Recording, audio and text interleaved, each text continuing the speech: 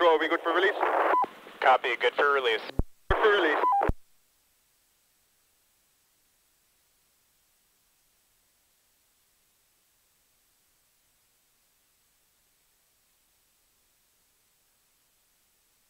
All stations, Hercules is released.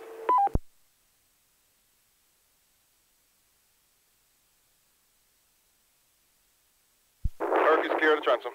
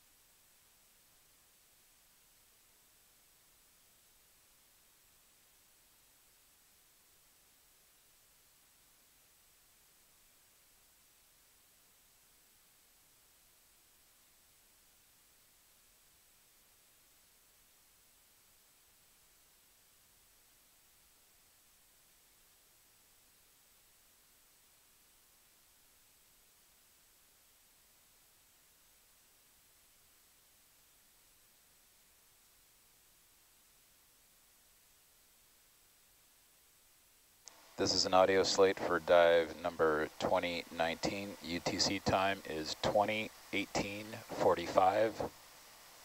All stations, Atalanta is uh, free of Nautilus. Copy.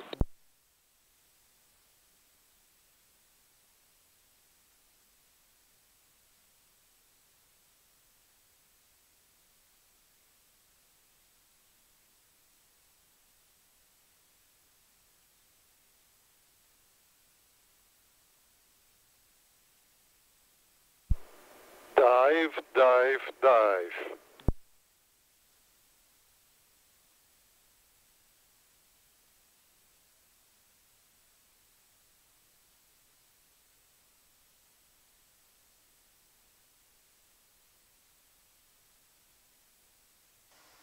I do not see any lights on Atalanta.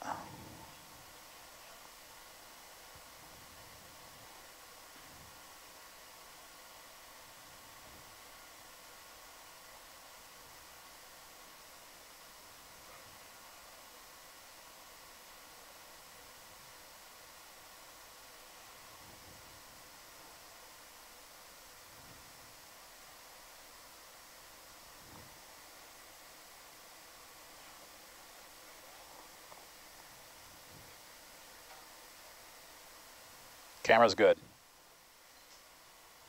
There's a little bit of light. There was uh, when we were closer to the surface. and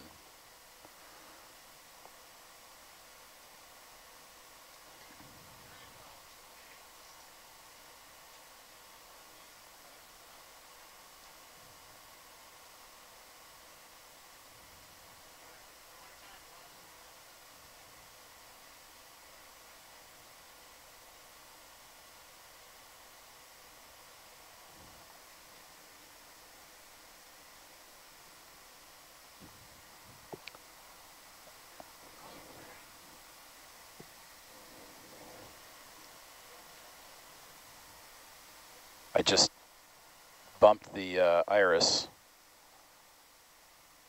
and that's as bright as it, I have now. So zoom works. Can you bump power to the camera?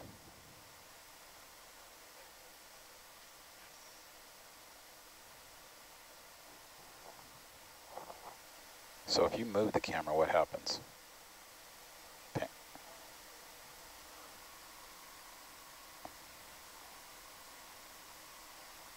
Yeah, it just seems like there's no light.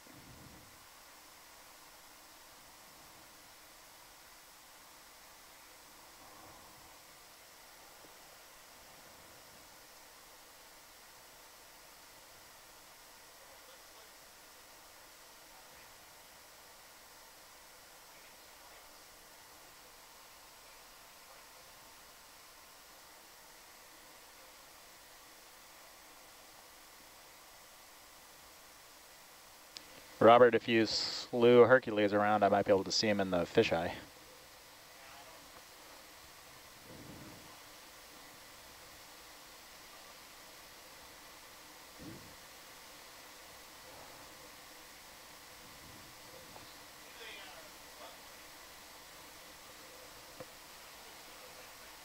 Control, control deck, all stop at 50 meters, transferring control to van. Copied. Stand by, please. Bye.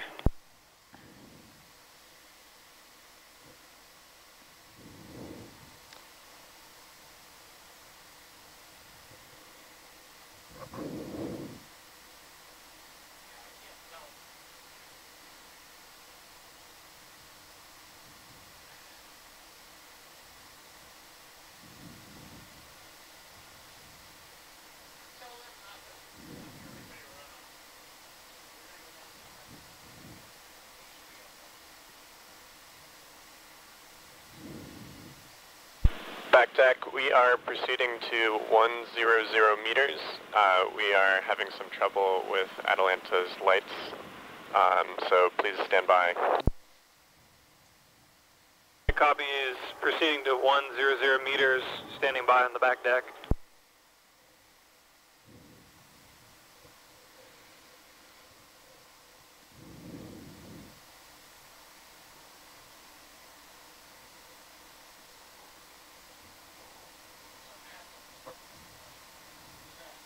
I put it in auto. I put the iris in auto. This iris control has been wonky. I, I'm leaving it there for the whole dive.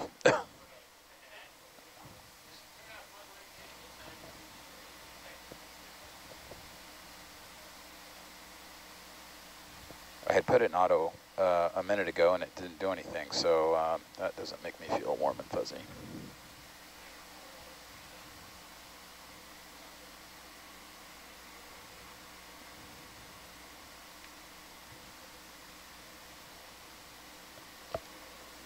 Thank you.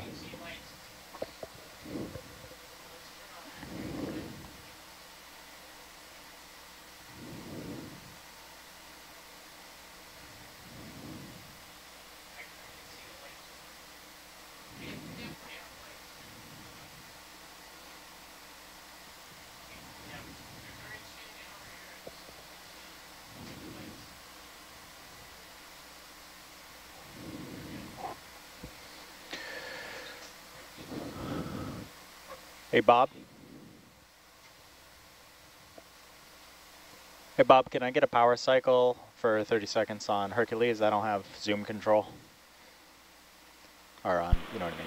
Back deck, back deck, control. We have resolved our issue and proceeding normally. Copy that. Uh, continue with dive. Thank you.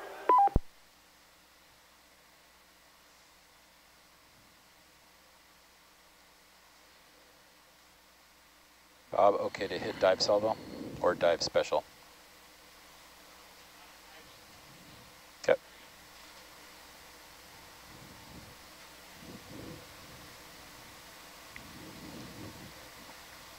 Hello and welcome to those of you that are joining us. This is Dive 2019. Hercules is headed back down to the western side of the McCall Seamount, our same dive site from yesterday. A little bit of a deviation from our plan today with the multi-beam mapping and surveying. We'll have to scratch that on this dive and focus on our photogrammetry. I'm excited. Yeah.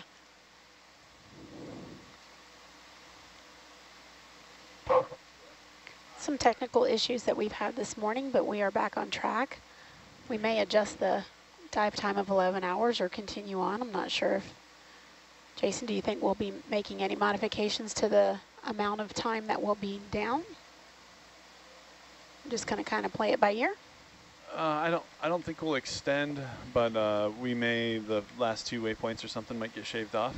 Yep. Um, different than yesterday. Yesterday we started uh, with the Norbit survey, and then we kind of flew through the saddle, and then went up to the the top of this nearby peak, and um, we hope to find a bunch of biology at the top of the peak there, corals and sponges, and um, hoping to get a, a, really nice biodiverse setting for the camera, and we didn't find it. So today we've got this tabletop, and we're hoping that the tabletop might uh, scratch the rugged complex terrain, but then uh, also might yield um, a little bit more biology. This is part of exploring, you know, we just, mm -hmm. We're going off the best information we have, which is fairly limited from a biological perspective, and uh, see what we find.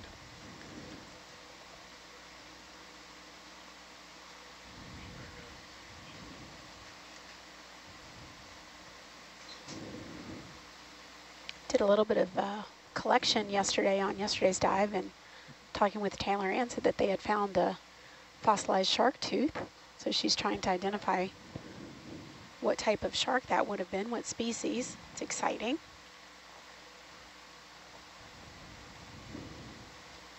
And I always love going back through the chats from the last shift just to kind of see what they were talking about. Squid seems to be popping up every day on our ascent letting their presence be known.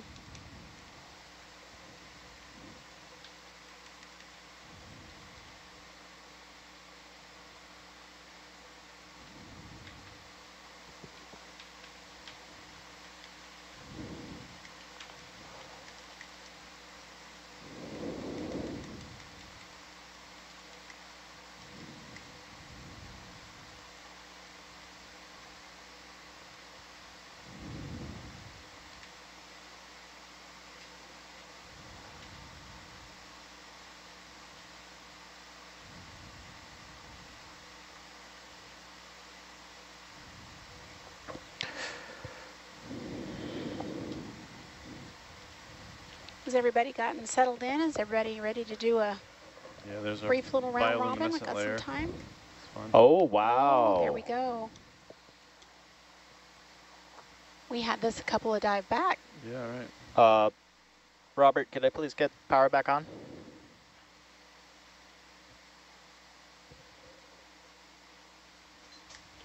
A little twinkling that you see there. Bioluminescence as we're descending down into the water column. It's very dark. That twinkling, that type of light that's happening, so we're descending through a layer of bioluminescence. Kristen. I don't know if that's... Are they going to... I think that's just reflection, right? Is that's that just not, reflection? That's not bio... Yeah, oh, no? Not, I missed. Are you sure? It's a lot down at the bottom, seems to be. Wishful thinking. Will they capture well on, on camera?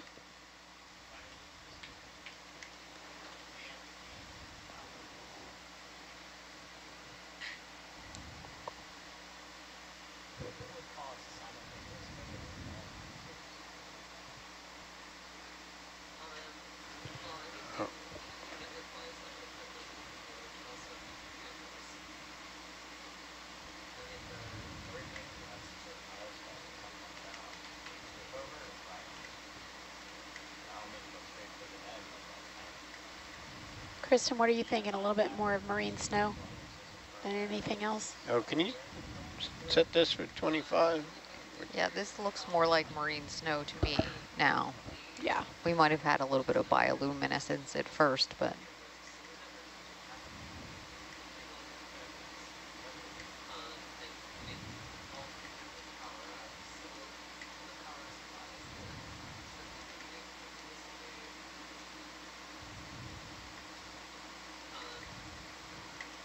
Kristen, when we say marine snow, what exactly are we talking about? Yeah, marine snow is Where are we of going? a little bit of everything. It's it's organisms that live in this in these layers. Um, so sometimes you have um, larvae of larger species or larger animals that float around here. You have stuff that's died at the surface and is kind of filtering down to the to the sediment layer. Um, it's it's a little bit of everything, really. This uh, Is this a great place to do the eDNA sampling? Yeah, it could be. It definitely, it would be a, a good place to find a, a mixture of, of everything in the area. Yeah.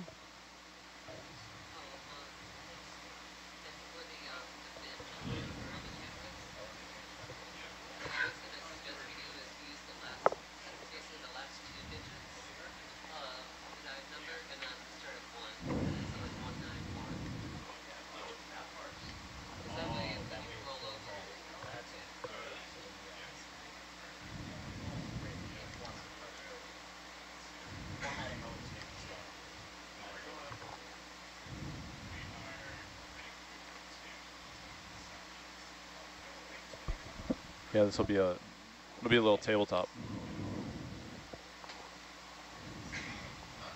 Kristen, you want to start us off with your, give us a little info about yourself? yeah. So I am Dr. Kristen Mitchell, and I am currently sitting in the data logger seat uh, aboard the Nautilus. Um, and uh, I work for the Don't Office of Naval Research. in. You're rocking the data logger seat. and You're doing a fantastic job. Thank you. I appreciate that. I'm having fun. I didn't mean to interrupt your, No your, uh, problem. introduction, but don't undersell your contribution. Um, so I work for the Office of Naval Research, uh, and I work on the internship programs. Uh, we are nearing the end of our internship uh, application period um, for uh, paid high school undergraduate and graduate internships with the Navy. Um, and we have about 30 labs that uh, high school students can uh, apply to and about 50 labs that undergrad and graduate students can apply to.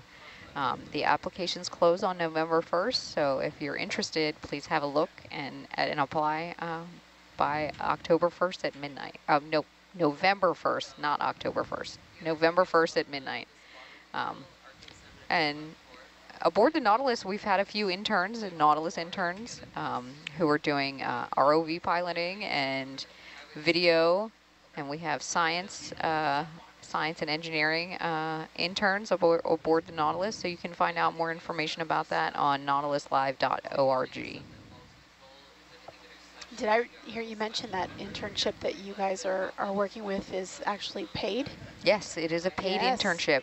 Yes, and it's eight weeks for high school students and 10 weeks for undergraduate and graduate students. And that'll be taking place over the summer? Over the summer of, yeah, 2024, yeah, next 2024 summer. Yep, summer. absolutely. Awesome opportunity. And you were telling us that there were a variety of different fields that someone could be interested in and, and Yeah, that- participate in? That's absolutely right. We have uh, everything from ocean science to ocean engineering, um, medical, uh, uh, naval archaeology. We have just about anything that you can think of uh, that the Navy does. So anything that the Navy needs support for, we have internships available for those activities. Wonderful opportunities. Absolutely. Yes, for Yeah, sure. Thank you. Have you enjoyed your, we, we've been on the boat a week now. Yeah. We've literally been like out for a week now. Yeah, it's amazing. We're literally at our halfway point. Yeah, I'm having a great time. Yeah, I hope you are too. I am. I am learning a lot. Yeah, same. A lot. Yeah, there's so many great people on board. You can, Amazing people. yeah. Lots of knowledge and experience, and every one of them have been so willing and helpful to uh, share their information and make sure the day moves along smoothly. Absolutely. It's been fabulous. yeah, and it's been great doing the interactions with the Science Communication Fellows as well. Yes. Yeah. Yes.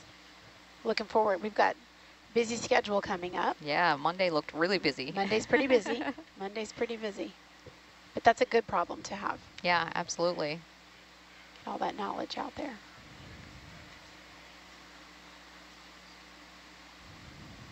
Well, my name is Devin. I am your Science Communications Fellow. I am by trade an educator, sixth grade science in Clarksville, Tennessee. And I am aboard the Nautilus for a two-week internship.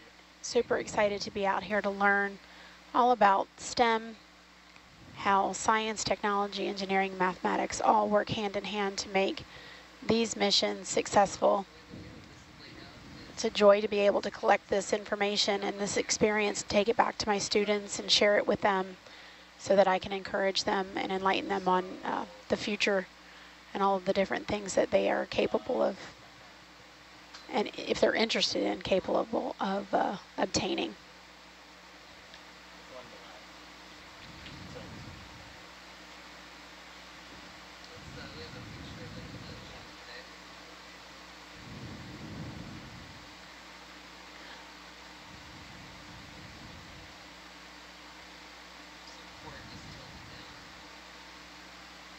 Robert, is this a good time for you? Introduce yourself. Are you guys still working some kinks out? Sorry.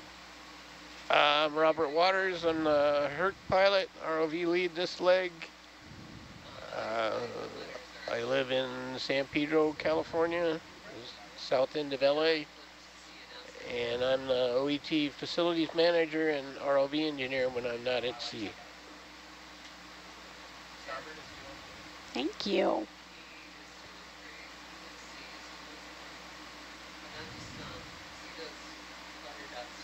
Come. Yeah, you do your do your thing. do your thing, Human. Um, I'm Human Moeen. Um, I'm a master's in mechanical engineering student at the University of Southern California. I live in Culver City, and on this expedition, I am a ROV engineering intern and pilot for Atalanta. How has this experience been for you? It's been uh, really great.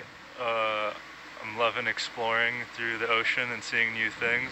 This is my first time aboard a ship, so it's really exciting. Uh, yeah. Have you have you made had any adjustments that you've had to make being aboard the ship? Are you used to being aboard the water like this? Um, I haven't gotten seasick, which has been pretty nice. Yes. Uh, I've my sleep schedule is a little different with our uh, our shifts. Um, but overall, it's been it's been a pretty easy adjustment. I kind of enjoy the rock of the ship, to be honest. It is. It's soothing, isn't it? It's relaxing. Yeah. Yeah. Is it stressful in your position driving at Atalanta? Uh, I wouldn't say it's it's too stressful because things happen, you know, pretty slowly because we we want to take our time with everything because we really don't want to risk anything getting damaged. Uh, but I would say the stakes are high because if you if you mess up. Uh, you- Robert, could I please get another power cycle? Power cycle light.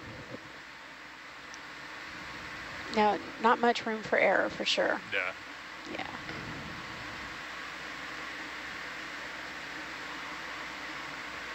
My favorite part of watch is uh, Pete. You ready to talk? Maybe. well, we did skip over nav, so. We did. Well, he was. He looked like he was busy. He was on his. It was, I just was worried that he was on his phone and working like multiple people texting and talking and getting things together. I thought I'd just come back to the end. I, I didn't forget If, you. if you're Okay, ready, if you're ready, I'll go after you. All right, sounds good. Hey everyone, my name is Johan Becker.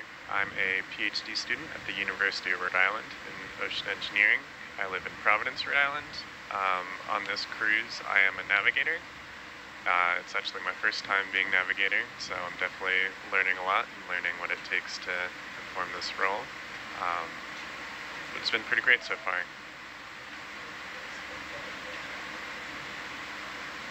Awesome. I'm uh, Pete Thorderson. I'm uh, operating in the video position today. I'm also operating as video lead for this uh, leg of uh, NA-156.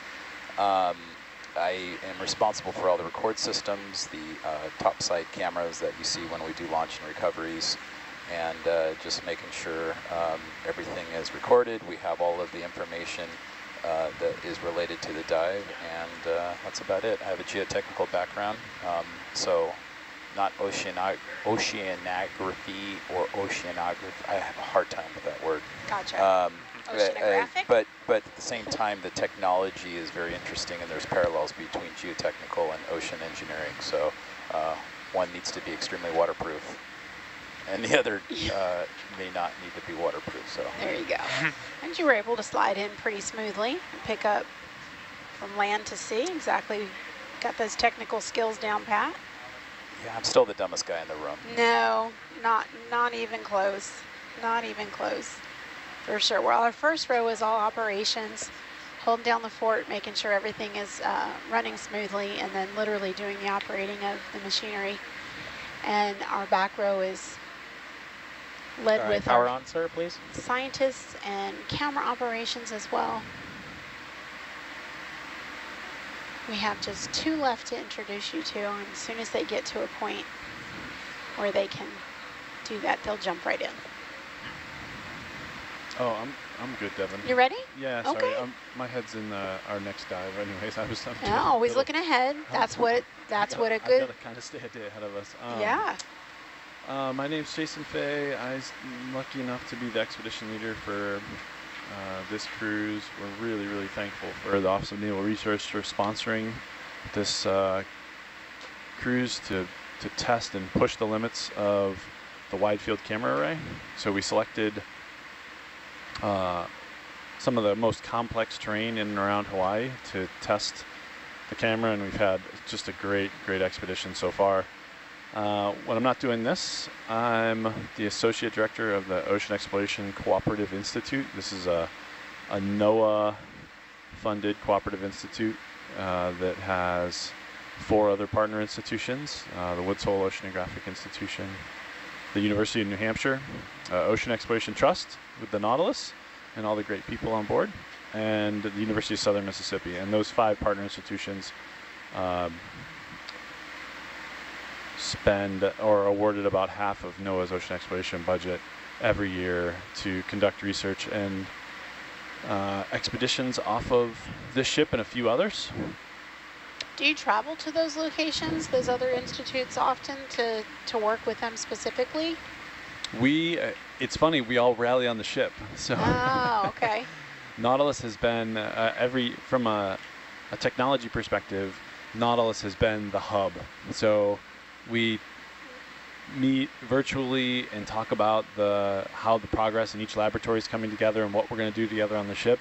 And then we get here together and kind of high five and check out and see how things are going. That's awesome. And so there is a bit of like the team from WHOI is up at UNH um, fairly routinely working on the Mesobot and Drix, these kind of vehicles from the last expedition interactions. But we don't all sit together at one place. You know, we're all at our parent institutions, and then the ship is really the most collaborative part of our cooperative institute. I can see that. That makes sense. We have all kinds of people from all different backgrounds. Um, the diversity on the ship is pretty incredible. Not just from experience and education, but um, just the opportunities and where everyone has come from. It's Yeah, been yeah. really interesting to learn about everybody's backgrounds and, and how they ended up here. I think we're really lucky to have the the partners that we do in the OECI because the if you imagine three technology teams coming out onto the ship together having to share ship time, which is a precious resource, right?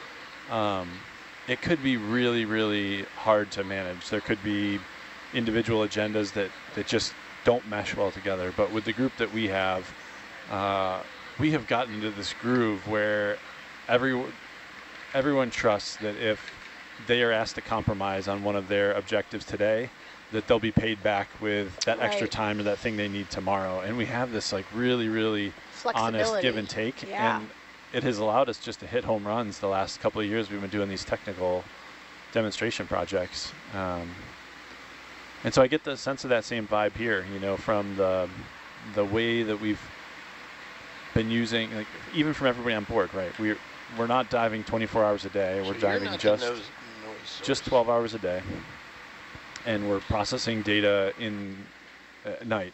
And this is kind of different for Nautilus, right? Nautilus typically is we we go to someplace nobody's been before, and we dive as long as until we're exhausted, or we reach the top of the seamount, or whatever that kind of end thing is, and that can be a couple of days in the water.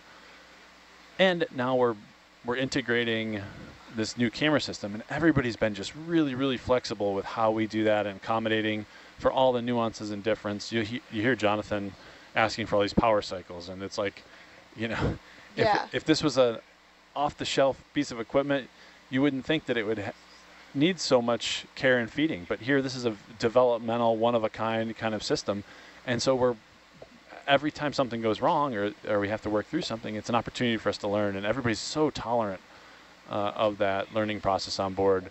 Uh, it just makes me really proud to be a part of this team.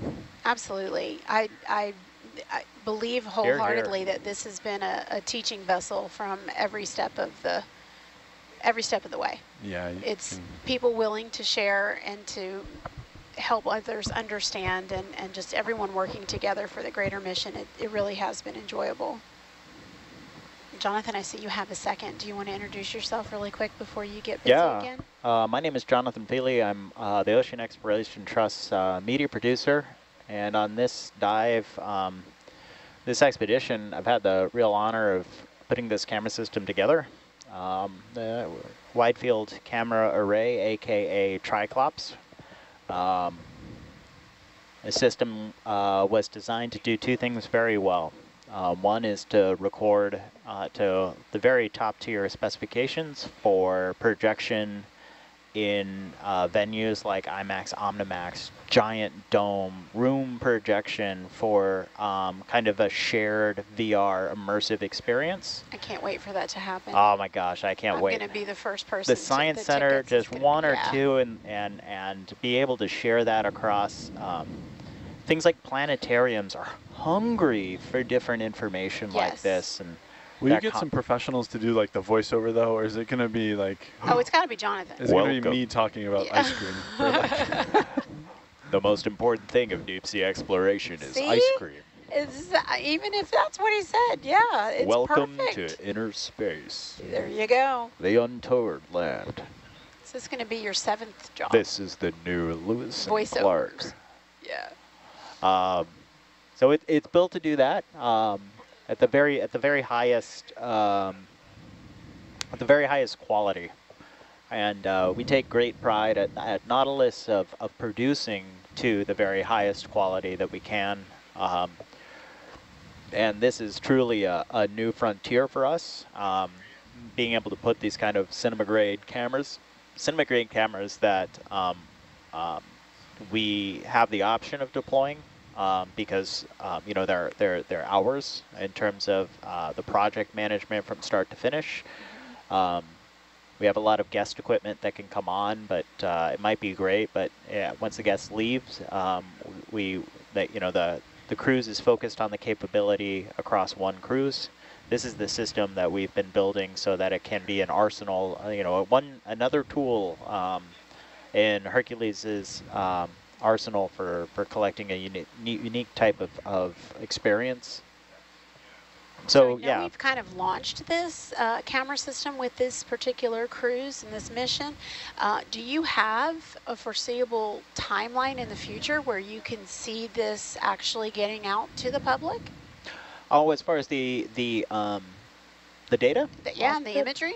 Oh my gosh, I'm going to move as fast as possible once Yeah. we get back. You know, uh, Jason and I have a project um, uh, we affectionately call RUMI, the Real-Time Underwater Modeling Aw, Initiative. and imaging, I think. And imaging, Yeah. modeling and imaging. Um, uh, that we, we were we were really grateful. The the Ocean Exploration Cooperative Institute funded that. Um, so we're going to be launching um, just the pilot program for a shared immersive video game and virtual reality experience. wow. Um, that's kind of in the bag for us, and and a lot of the uh, imagery that you see here um, is is going to feed that experience. Um, we are at, at Nautilus, you know, again, we, we pride ourselves in showing reality. Um, and this uh, video game concept, this simulator concept is, is going to continue along that theme where we're presenting real data, real models that you're able to explore. And then maybe we do wireframe some of this amazing Norbit data around it. Um, maybe we wireframe the entire ocean's bathymetry um, around it.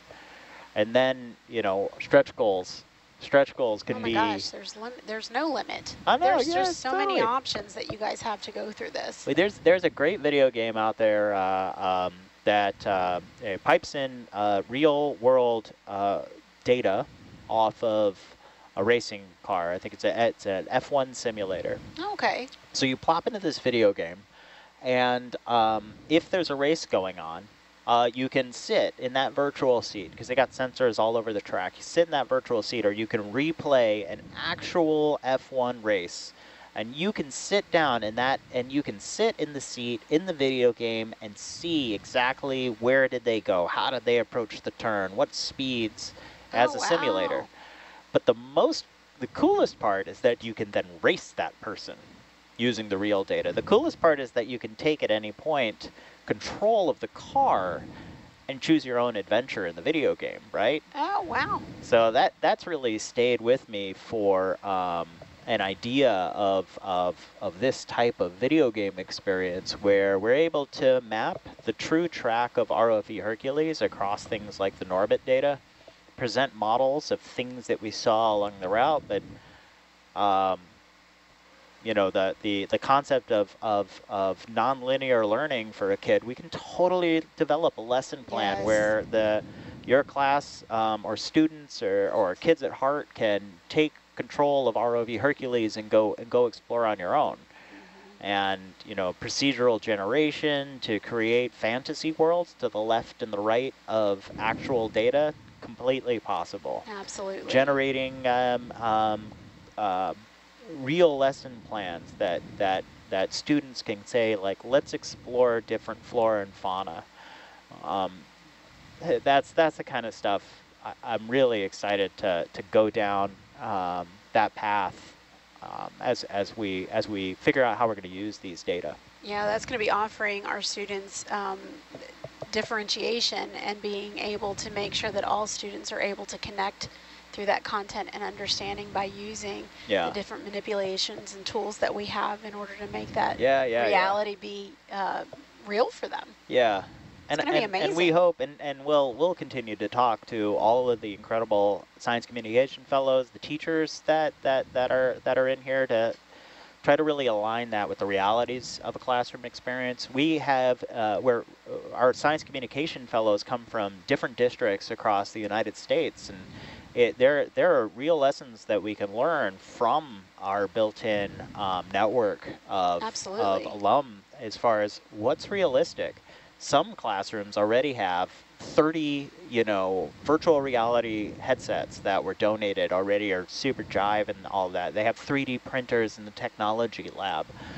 That would be, um, it would be dangerous to assume that that's the shared experience of, of students Oh, and, and teachers across the, the, the United States. So, and, and for that matter, globally. Right. Um, so you know that's that's what makes working for uh, Nautilus exceptionally fun.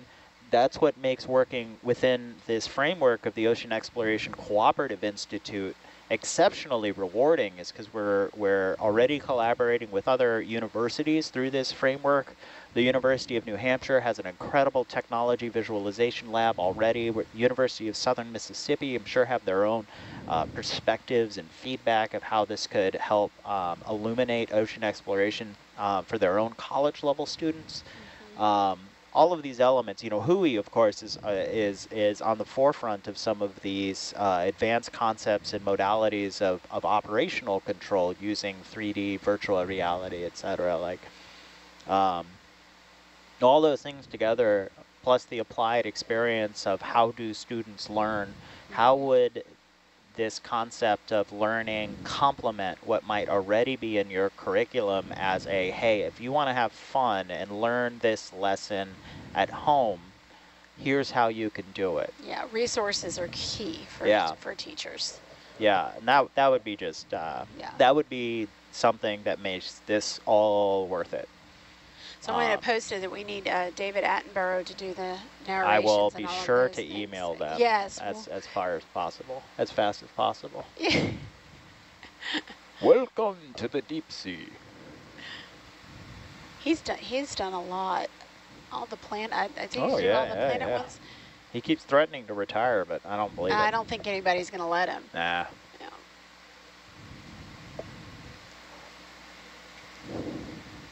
the deep sea. so we're just still descending down the water column. We're currently at around 823 meters. Not a lot that goes on during the descent. It's pretty, pretty dark as we begin to get further and further down, just a minimal amount of light that comes through. So you get different shades of, of blue and the occasional occasional fish that might swim by. Nighttime seems to be the best time for the squid during the ascent.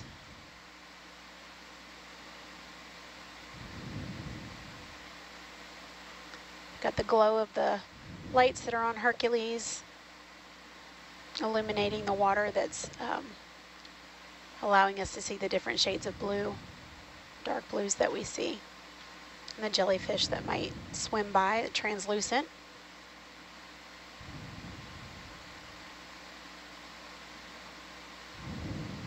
And we wait patiently.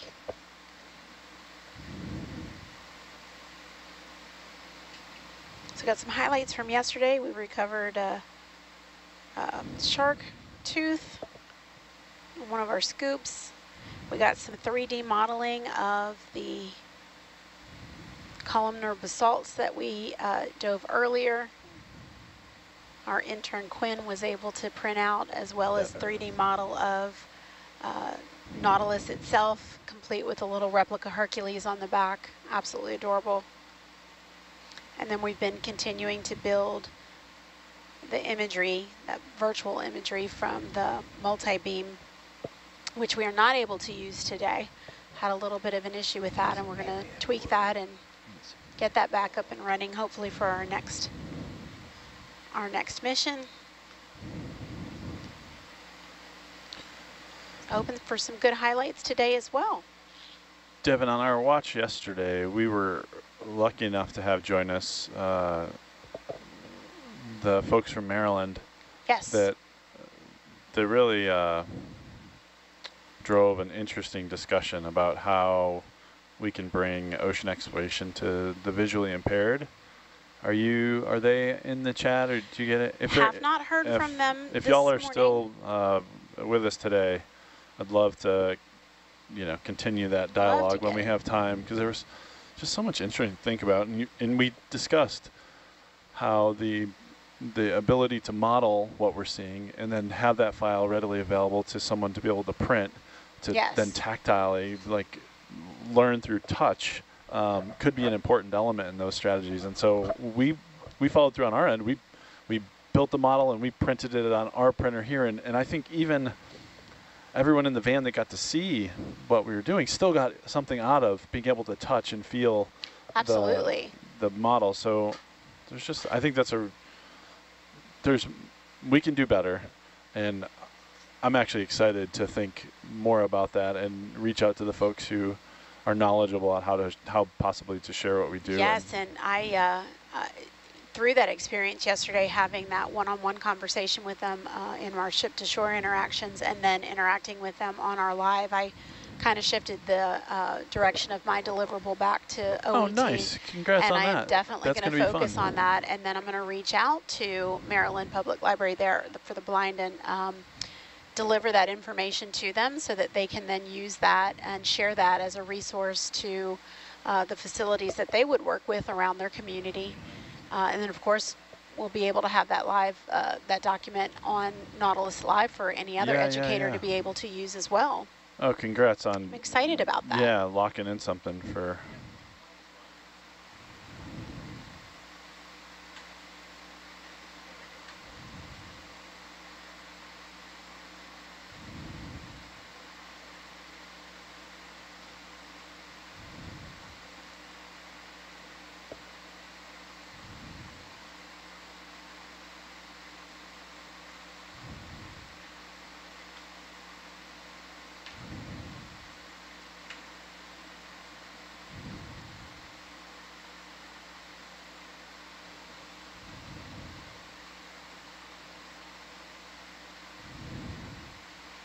Kristen, what's been a highlight for you on the trip so far?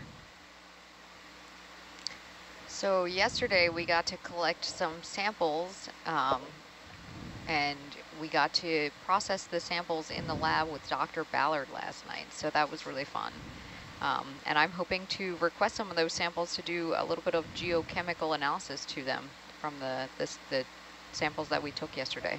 So the samples being, um, I don't want to just call them rocks, but that's what they look like. They look like rocks, Yes, but so- different various sizes. Yes, we got one that was probably about 15 pounds, which I will probably not sample, but we got a lot of uh, what look like uh, manganese nodules. Uh, so we'll investigate those further and see and see what they they contain. So these were small Yeah. uh, stones. What's what's a good analogy for the size? Like golf ball, smaller than a golf ball, Definitely smaller than a golf ball. Um, like a marble. Marble size? yeah, a little bit bigger than a marble. Some they of were them like elongated. They were yeah, they, they weren't, round. Really, they were not very spherical. They were kind Yeah. of uh, like those little rubber balls that you would get out of the 25 cent machine? Yeah, Yeah. yeah, yeah. Some were that big. Some were a little bit smaller than that. Um, I don't know, Devin. With inflation, they're probably like 75. I They don't know. probably are at least a dollar fifty now. Bitcoin now. yep. You probably have to swipe with your Apple card in order to get them. But I, I asked the size and kind of to describe more because I have the, these students in Maryland on my mind about, you Yeah. know, we're we see the image and we ooh and ah, but maybe we don't go through Yeah. Or articulate what we're seeing as well as we could to paint the picture for someone who. Yeah. Yeah, so most of the samples were black. Um, and they also had a bit of a smell to them, so that was kind of funny to, to get Oh, them in the lab. describe that. I don't know. I mean, it smelled like the ocean, really. They weren't. It wasn't a very strong smell, but they definitely smelled a little bit like metallic-y and like about ocean, oceany. Oh. Dr. Um, Mayer was was noting that the smaller ones were friable. He could break Yeah. them apart and they would crumble kind of in his hands. Yeah. So they're very porous as well? I think they're more of like a mat. They kind of lay down, and so it's it's uh, sort of a, uh, they're depositing like slowly, so like they're not very thick. Okay. Um, so they're precipitating precipitating out of the water, and and so they're it's a very slow process, and it's one of the slowest processes that happens, so, sort of geologically and in the, in the ocean. Um, it's very slow, so it's a very uh, you know, it takes a long time for the those pieces. a million years a millimeter Yeah. is what was discussed yesterday. So Right. that's million years a millimeter. yeah. So each of those nodules that was the size of the uh, small bouncy ball. Mhm. What's that? Maybe a centimeter and a half. So that's 15 millimeters. Is that right? 15 million years. Is that? Yeah, that sounds about check right. my yeah. Kind of wild. Living history. We have a visitor from Sweden. Robert, you might be able to help us answer this. How fast are Hercules and Atlant uh, at Atalanta descending at the moment? Oh, th- we did this math yesterday, didn't we? Oh, you got to hit your mic. Sorry, we, we're going down about 25 meters a minute currently. It- That's like uh, warp speed for yeah, for Herc. well- That's full throttle. Making up for lost time. Uh, Going back, minutes. going back to the um, uh, accessibility conversation, it's Yeah. of interest to me because when we were, uh, when I was at Microsoft, uh, a number of years ago at the early beginnings of, of cloud, cloud computing um, and AI, um, it was a big focus of theirs, and I'm, and I'm assuming AWS, uh, Amazon, for descriptive audio captions that are automatic. And uh, one of the things that we were working with them was the marketing side of um, AI analyzing images frame by frame and putting together a descriptive audio track that was separate to, say, what we're talking about here. So it gives uh, the viewer an option to tune over to another audio channel and just listen to the descriptive audio side of what's going on. So that would be something interesting. That's awesome. from an AI perspective to uh, maybe take a copy of what we do and run it through the engine. Especially when we're on a dive site that has a lot of descriptors. It would be really interesting to be able to do as well. I don't want to put anybody out of a job, but um, from a mass processing perspective, especially when there's hours and hours and hours of footage and it needs a quick turnaround. Um, it may not be 100%. We did AI captions all the time. Right. And it was getting close to 98% accuracy, uh, which was pretty impressive. It's better than most captioners can, can do in a live caption environment. Yeah. And the key behind it is that it's beneficial. Anything for accessibility. Accessibility, yeah. yeah.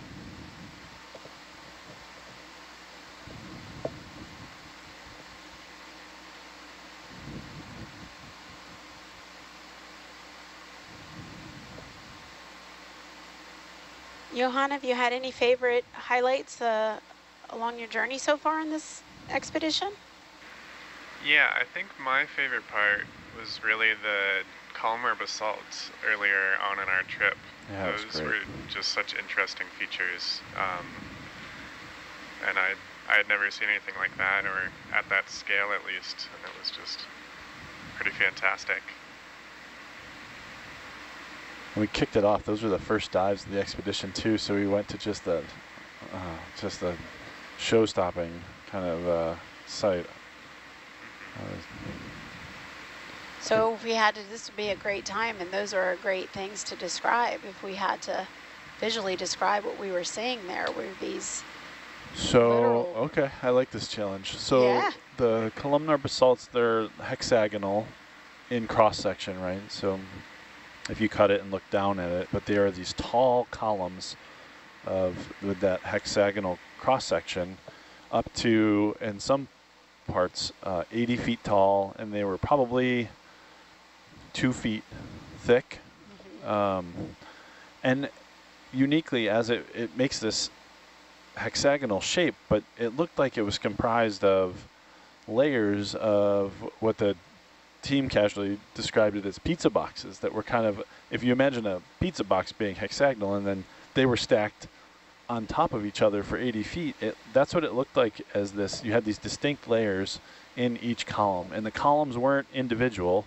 They were nestled together as if you had a, you were holding a bundle of straws, right? And right. they were all that shape, so you could see. Oh, that's a great visual. In some portions, you could see all the hexagonal tops, and then we would go down the the cliff face, and you could you were just looking at the wall of these columns, but they were all nestled like directly in contact with each other, for as far as the camera could see, and it was just totally unique. And you know, we were one of the the few people who've been able to experience it you know, live. that bundle of straws really is a great way to describe that.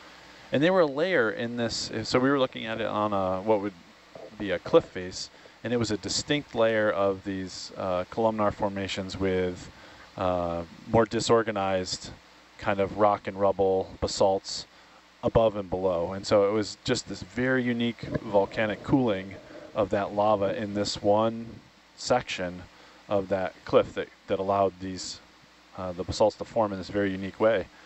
The remainder were kind of a mess, you know, mm -hmm. like a, mm-hmm. or a standard. Jonathan almost. I, I thought I was going to have to catch him. He was trying to leave the van. I was going to have to catch him. But yeah, uh, definitely highlight. We should have saved it to the last dive instead of the first one. Now we're we start off with a bang, and we had. Uh, I think we set expectations really high for the rest. They've, the rest of the dives have been great, but been very valuable too. Yeah, that's true. So when I initially had saw those basalt, columns, I was thinking um, of how to describe that. And most people are familiar with the shape of a honeycomb. And so if you kind of took a honeycomb and made columns out of that and then just varied the heights, yep. that would be an easy way to try to familiarize someone with the way that that would look like is pretty, pretty amazing things that nature forms itself.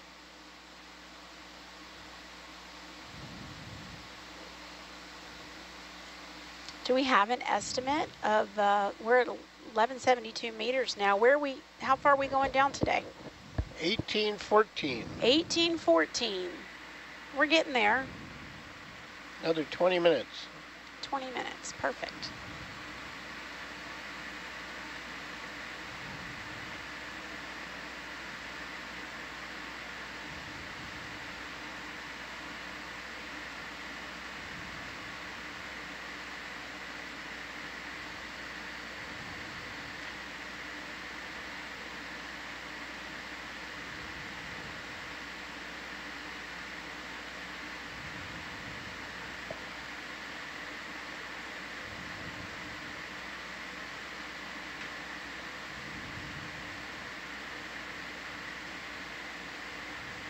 They did end up finding some of those large coral beds uh, yesterday. They were spread out. I was watching downstairs and also upstairs. Um, you could see there were some pretty large corals from spaced out a little bit, but Yeah, we were still there. a little deep, um, so I was pleased with seeing them. Uh, I think folks have a Sorry. on board. We're hoping to uh, have these gardens, you know, and like yeah. uh, I don't know if that would be a really really special find. Um, so yesterday was, I think, I felt really good. All right, we have a camera and light question. What is the Hold power of Hercules lights? Hold it. Ooh. Oh no, I, Wait was, for I thought, yeah, Oh, no, okay. it's all good. The Herc stuff, no yeah, problem. the Herc stuff. Uh, the power of the Hercules lights in watts and the camera sensitivity rating. The ASA, I guess we, we can save the camera one for Jonathan when he comes back, but Robert, what's special about the lights? Are they? Uh, is there like a light bulb that you've got to change, or is it? No, all our lights are LEDs now. Yeah, I've I've watched the progression of lights in my long period of being out here, and we, we used to have. They started out with halogen lights back at the beginning, and then they had metal halide lights, and now we're fully LED lights. So And it, what's? Are they? they're more Um, efficient. Yeah, are Yeah. brighter and easier to. I don't know. What are The- the, some of the pros? I guess of that. Yeah, the halogen lights put out a, like a more yellow light. It wasn't a flat.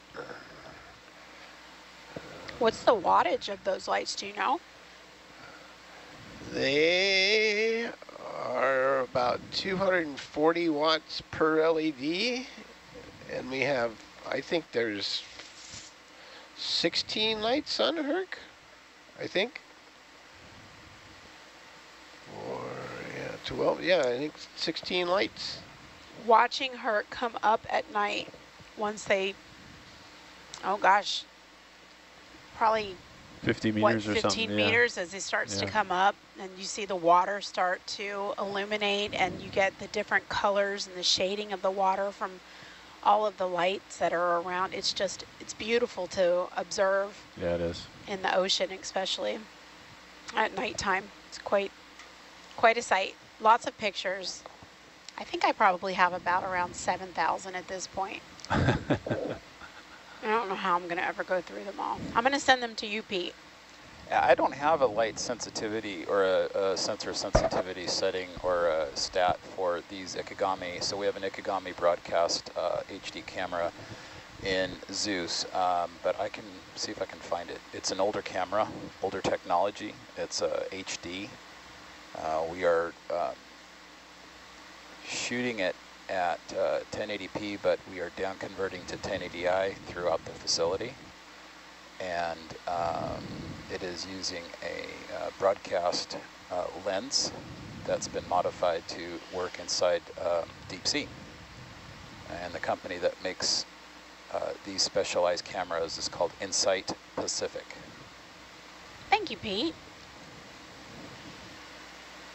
So interesting thing is uh, the metal halide lights that we used to have and they used on the Titanic dives way back um, would get so hot that you couldn't even start them up on deck. You had to put them in a bucket of water. They would they would get so hot that the plastic outside uh, holder would melt and the light would fall out of the housing. Wow.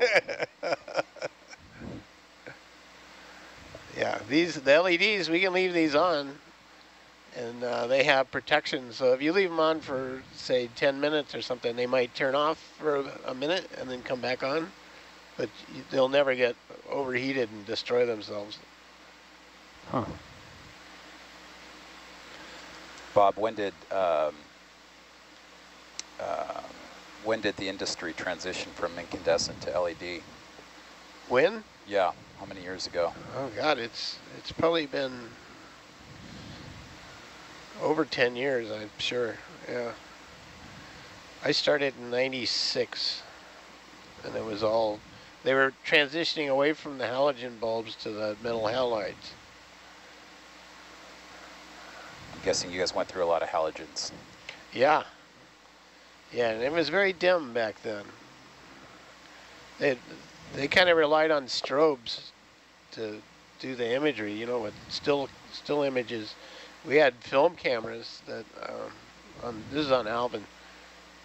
We had film cameras and we had a dark room on the ship and we had to take test film in the morning on a pre-dive and then go run in and develop it real quick, see if the it had sort of an overlay on it that was used LEDs, you know, little red character LEDs that would expose the film and put an overlay.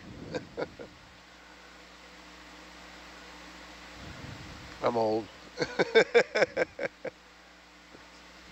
Our chart plotter was uh, ammonia soaked paper that used a, an arc to, to burn the paper.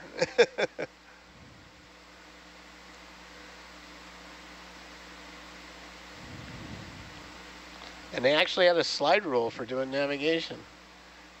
You just you got slant ranges and you had to put them in the slide rule to figure out where you were.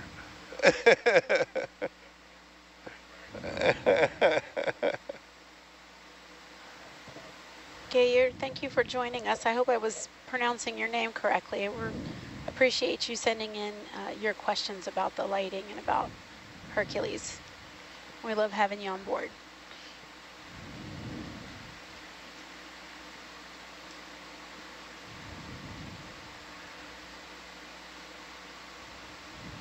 Pete, you had mentioned those lights on the Titanic. Were you a part of that mission?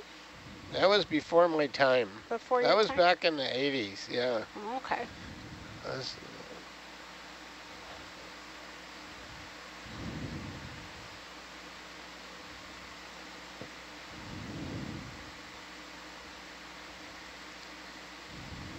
Just thinking about all of the things that Dr. Ballard has had his hands involved in and all of the explorations that he's been a part of. It's absolutely amazing and such an honor to be here and be a part of, of this mission as well.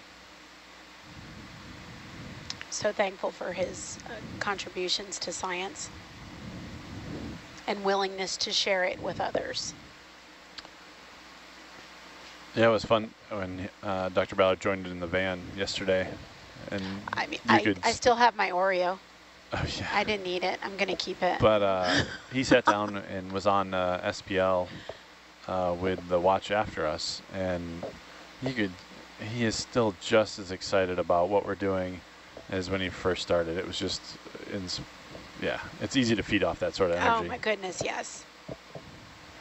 I, and also uh, an amazing storyteller to be able to sit and listen to the stories that he can tell. You can just, I could do it for hours, just get lost in it. He's got so many.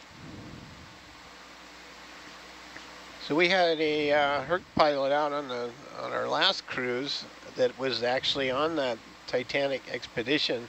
He was a mess attendant. Really? oh my gosh. Wow. Yeah.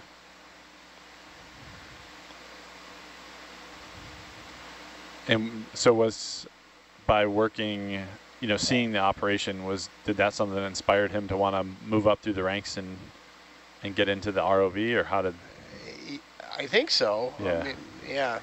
I. I don't know the exact story there, how he ended up going from mess attendant to. Uh, well, I- he went. He was actually working at the machine shop at WHOI, and then some of those guys that were in the machine shop ended up sort of transitioning over to the seagoing positions. So Everybody starts somewhere. yeah.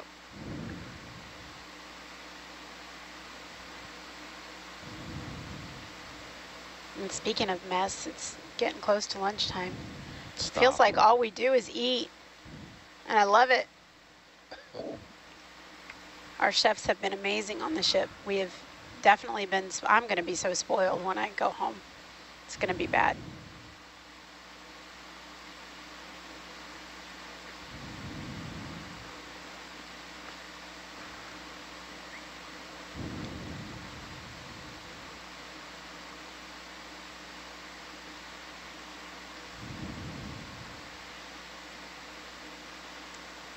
Haven't seen people playing board games on this cruise. Like sometimes they, they get really active with the board games, or I think last cruise they were making puzzles. There's, you got a kind of limited range of things you can do to entertain yourself when you're not working. Yeah, last there was a quite the backgammon group on uh, NA 155. Really? That would play uh, in the evenings on the social deck. Um, but it hasn't uh, hasn't happened on this hit. No, I haven't Still seen got some time. We still got some time. I think Robert's calling us no fun. I think Ah. it's- you, guys, you guys are lame. Usually we're way more fun than this. Well, Robert, feel free to help me grade papers anytime you Oh. want. You got some spare time. I, I'm more than happy to share the workload. I didn't appreciate how busy the SCFs are. I didn't. Uh, I didn't know that your day jobs might follow you out here, and so that Yeah. you're kind of doing both. Yeah, know? back home the classroom is still running, and in order to keep that uh, as c- close to keeping up as possible, so that I don't go back to a to a madhouse, I it's very important that I stay on top of grading and logging, because I still have students at home that are uh, wondering about when that grade might get put in, and uh, I did a lot of work leading up to this expedition in order to make sure that my students received the content uh, and the timing that they needed to so that we can continue to learn at uh, at the pace that, that our district sets. So there's a lot of um, work that goes into leading up to this expedition and maintaining and then um, I'm quite positive that when I go home I'll still have a lot to to catch up on but I was married to an elementary school teacher, so I, I know. yeah it's a lot it's a lot She never had a weekend off. No, and it's it's really difficult to be able to learn to put that boundary out for yourself when you realize that you have to. Um, you still have family, you still have yourself to put into the mix, and uh, What do you do in the summertime? Is there? That's isn't- usually recovery time. Yeah, that's right. yeah. But actually, during the summertime, we um, most people think, oh, you have your summers off. That's not that's not the case. We still have a lot of uh, uh, classes that we have to take. We have credit hours that.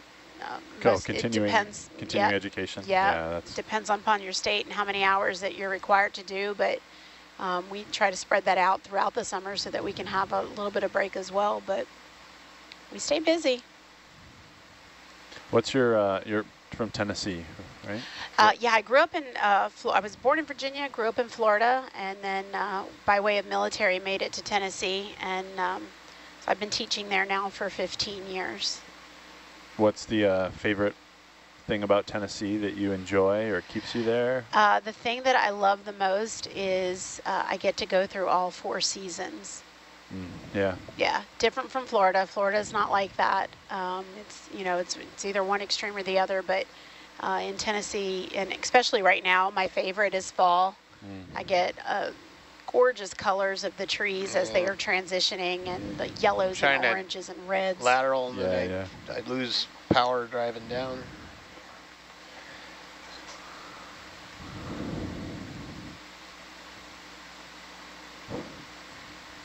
Hmm. Yeah, let's slow it up a little bit. Robert, our viewers just want you to keep laughing. They think your voice is infectious. Huh. I agree. If anybody has dad jokes for Robert, so we can hear him laugh. Some dad jokes? Yeah. Dad jokes or bad jokes? Yeah, bad dad jokes. Dad.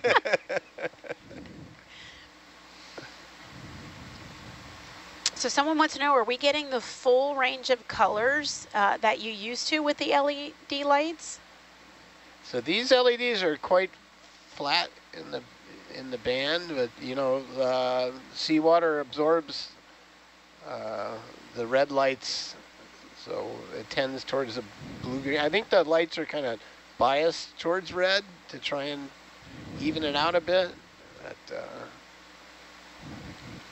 yeah, I, I would have to look at the, the data sheet again and, and know that, but uh, yeah, they're definitely way better than the old lights we used to have. It's a much more even color, especially in close. Very close to daylight. It's about as close as it gets to daylight with these LED lights, Awesome. which is 6,500 Kelvin. Hard to put a light meter down at 2,000 meters, but Yeah. it's close.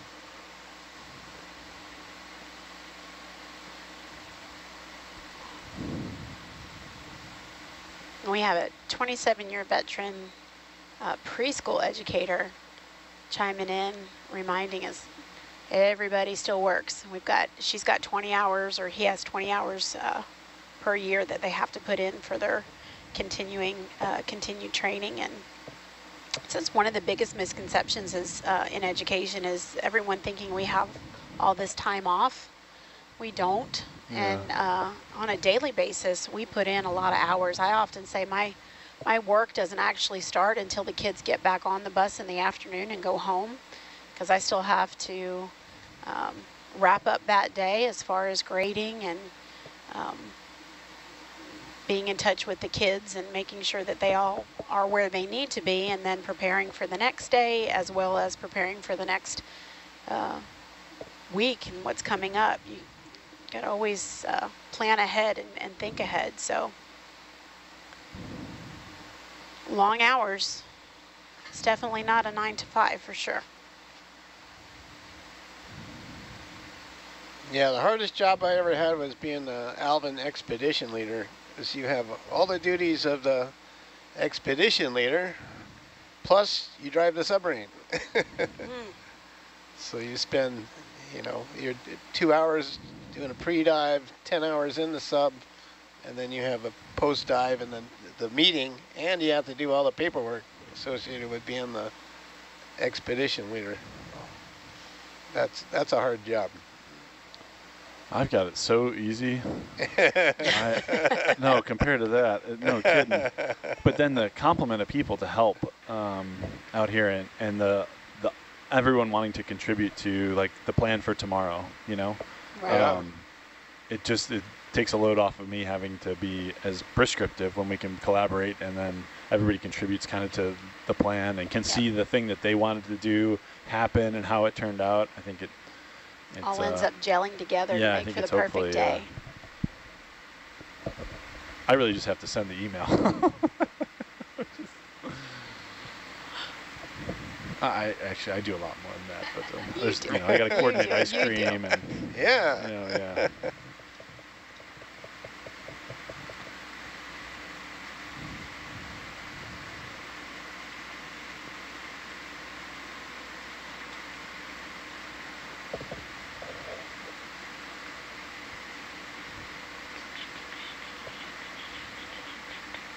Is anybody on uh, this watch going into the next expedition? Anybody staying on board the next time? What is the, the next cruise is a mapping leg? Is A mapping right? and they have the uh, deep autonomous profiler from the University of Rhode Island on board, so they'll be Ah. they'll be having the lander over the side for uh, a bit of it. Is Rennie staying on? He might be staying on. I think he's Uh, leaving actually. I don't think he is. Uh, Johan, you staying on? Nope. yeah, there's no ROV people staying on. Yeah, This the um, is my last leg for the year.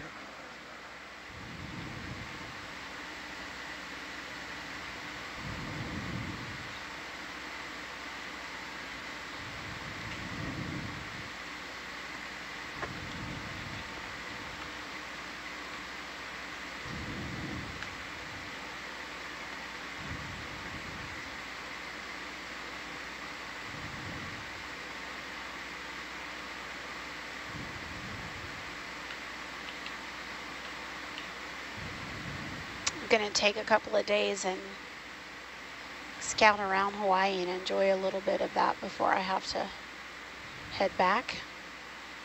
Looking forward to some adventures there. Yeah, that sounds good. Yeah. I've never done that. I've probably been, uh, I don't know, uh, over a dozen trips out to Honolulu and never seen more than Oahu. One time I drove around the island.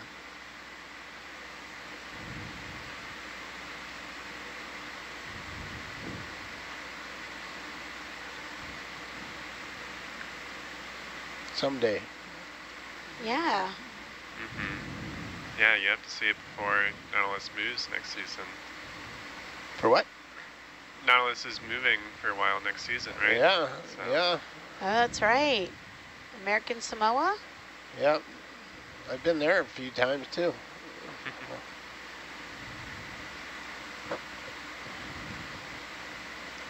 So next year, yeah, we're getting more remote. So Yeah, logistics and port support. And, uh, it's going to be very, very different than how nice we have it at the University of Hawaii Marine Facility. yeah.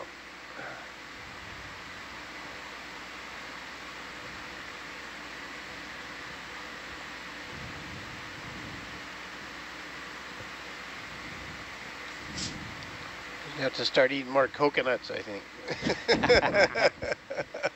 Pineapples to coconuts, huh? Everything's just been top notch from working with OET and from day one, the application process to, to where I am right now. It's just been an, an amazing organization and just so thankful for this opportunity.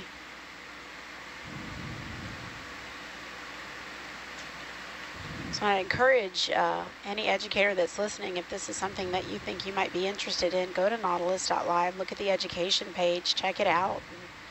And, uh, don't think twice about putting your application in.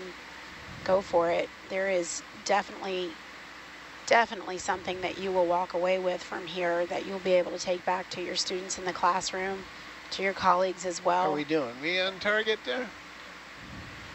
Looking pretty good. Right. At- Atalanta will probably settle a little past it. I could bump the ship another. 50 Uh, I don't. or I don't think it's that critical. Yeah, Uh, agreed. It's kind of ambiguous waypoint. Yeah, coming up on it. Yeah, I see that we were starting to get a Doppler beam.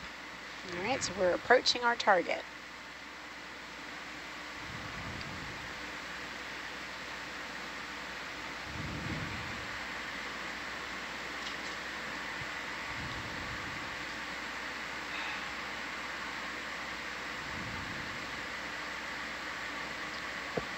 Looks like rock because we're getting good uh, Argus altimeter.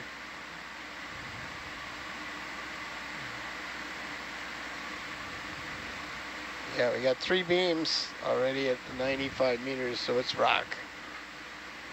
Sort of flat rock.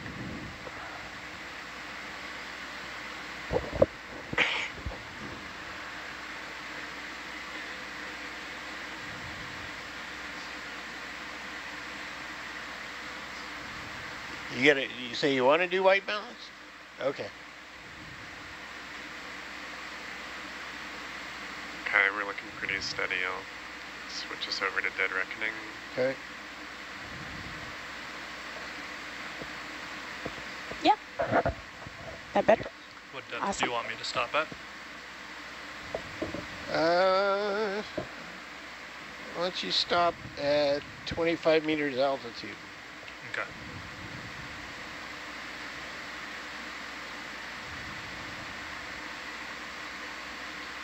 I can give you a reset as well. Looked like Herc liked it. There we go. Okay.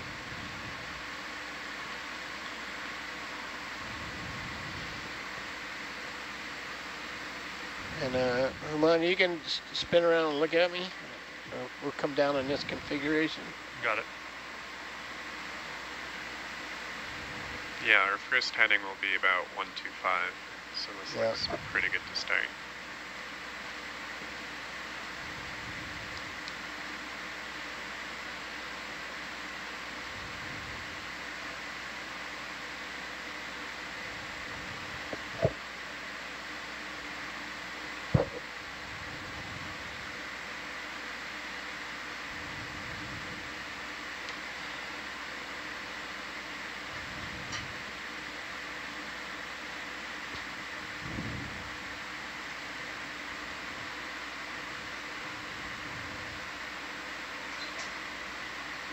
And satellite bay 2 gives you a good look at Hercules from at Atalanta.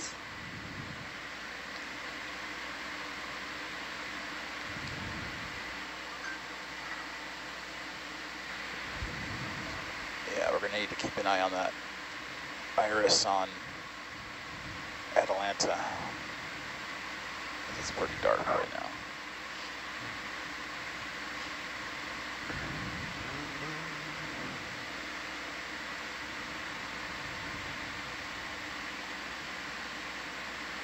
Are your lights all on? All the lights are on, yeah. Okay.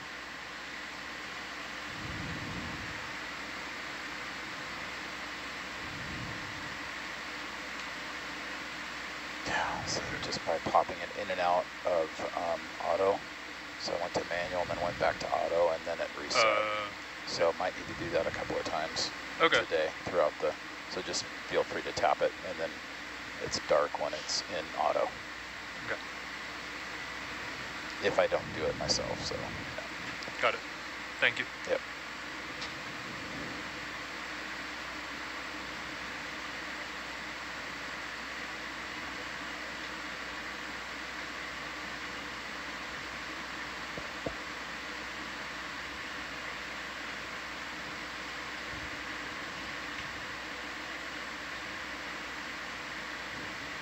All right, well, just just hold the delta there, and we'll be good. Okay.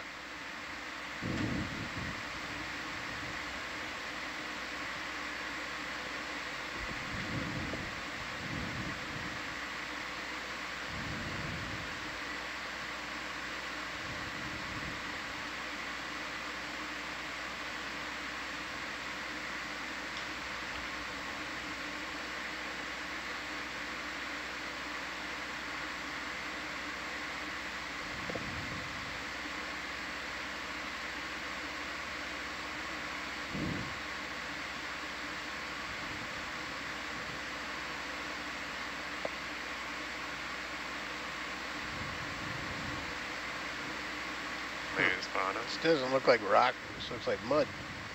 That's surprising. You got returns from pretty high up.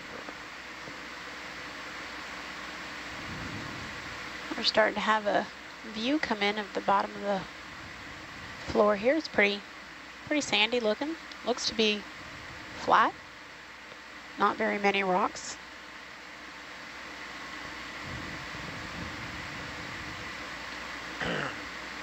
So we did expect to uh, land on this tabletop feature.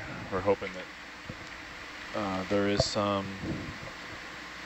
large boulders and objects, you know, terrain to image around and stress the wide field camera array.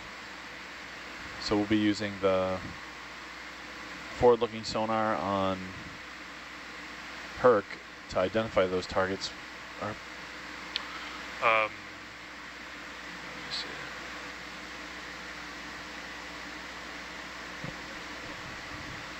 Our What? earlier plan was to to use the Norbit and map before, and we'd fly over this area at 30 meters and make this beautiful map, then use that map to The To brake, navigate brake from. light's not coming on. but it uh, the Ethernet bottle that's critical to the operations of the Norbit multi-beam um, had a problem on launch, so we Uh, removed that bottle and no Norbit. Remote's enabled. Yeah, it's not showing the brake release. Huh. All right. Uh,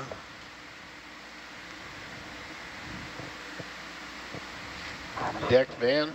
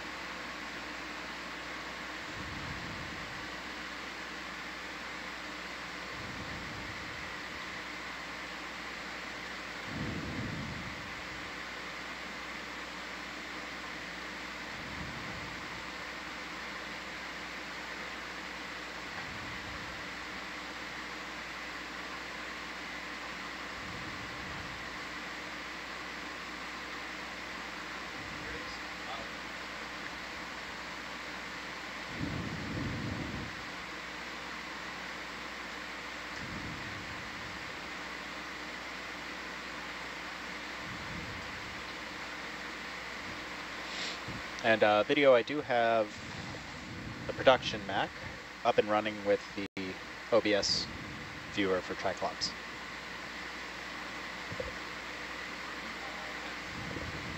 Oh, look at that.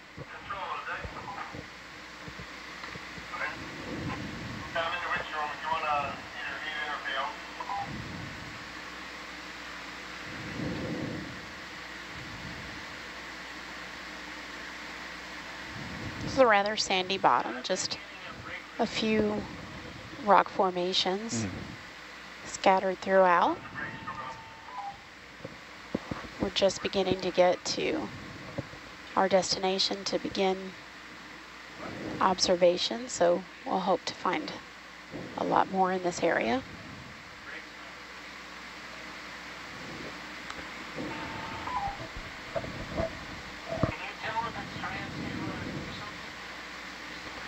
So we made it to the bottom, but the uh, the winch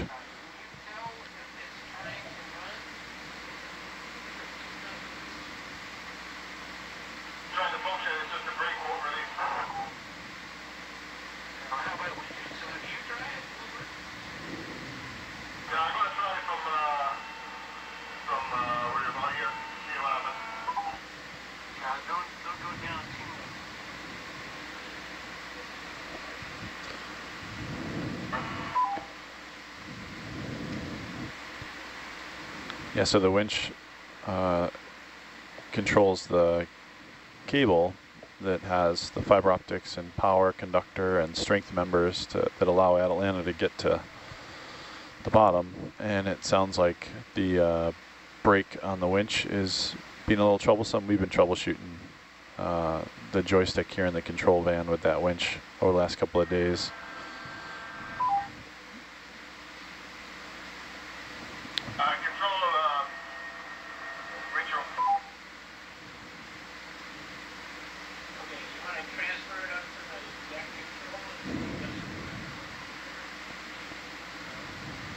That's what we're doing. Two seconds, I'll just uh, transfer again.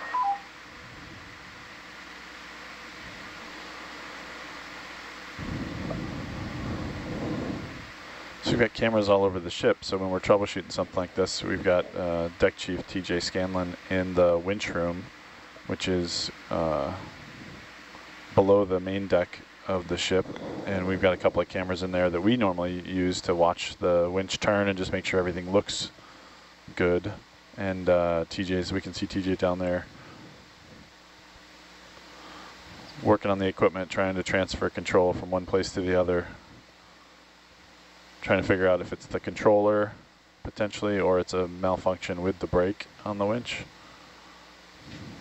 So is that why we were operating the other day from the back of the social deck? Yeah, the controller here at the Atalanta pilot station was uh, problematic.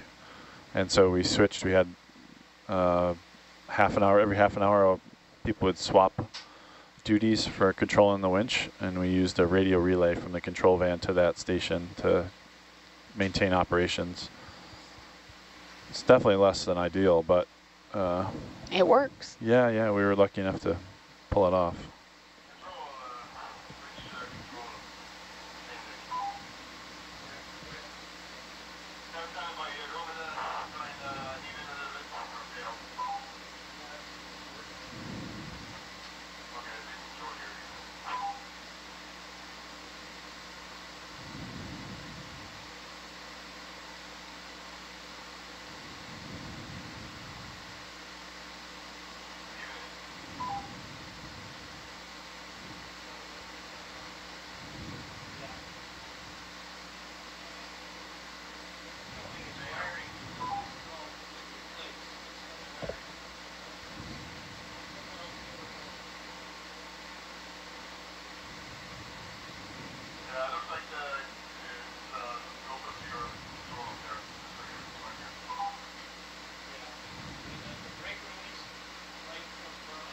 And from the view that we can see now, we're starting to see a larger cluster of um, rock.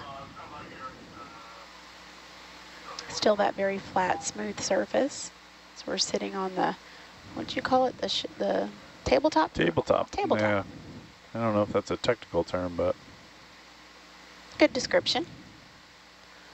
So we're about midway down the uh, McCall seamount, and uh, there was this flat tabletop-like feature. So it's going to be the start of our exploration.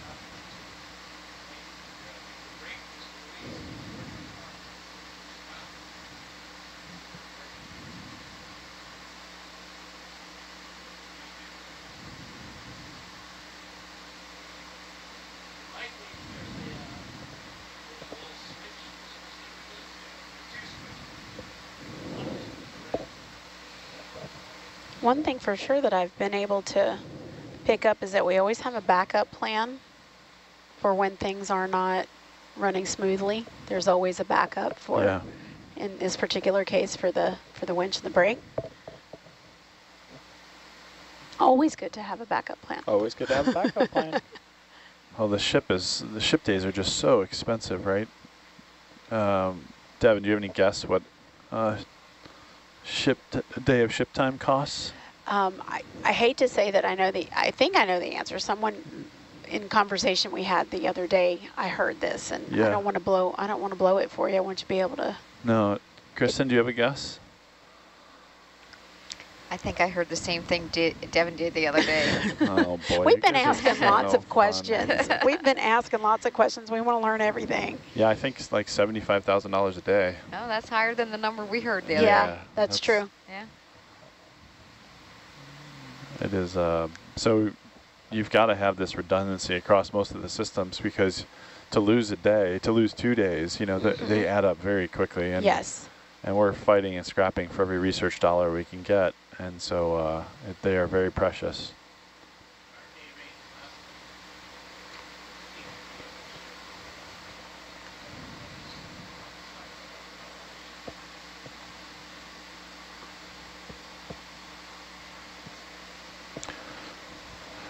Robert, what'd you figure out with the winch? Uh, there's there is something amiss. So, in order for this to be able to winch down like we were doing, right? Yeah. It has to have the brake release command. Like, but as soon as we stopped winching down and let it off, then we no longer had brake control. So, so it's not a wiring issue. This is, yeah. I'm now I'm kind of wondering It's about that switch in the yeah, controller. possibly the switch in the controller because it it was fine until we went neutral and then tried to Yeah. re-engage and then So we're gonna have to man or uh, Swing around get some take a look. folks to yeah to stand to don't, watch I don't that. know if I have a replacement for that switch too. So We able to take a look at that eel? I think it was an eel to the left of that rock. Ooh. Look at that. On the Triclops computer, you can see that a model that we generated, our uh, dedicated data team. It's eh, not going out though. Oh, whoops. That's okay. I can put it on SAT three. Oh, he might have left. Must have heard me say we were looking for him. I don't see an eel. That looks like a shrimp probably. He's still. We just got to back. You got to back up a little bit, Bob. We can see it on the wide field. Oh. Three, two, one. Oh, it's one of those There uh, we go. The tripod fish, right? tripod Nope, fish. even even further back, I think, from that one. the tripod fish? uh, I think it's under the. Under Herc. that's the that's the power of the Yeah. Yeah. camera. He's staying. There you go. There he Hey. is. Ah. ready for his live. Um, video, would it be possible to get the triclops on the upper right monitor?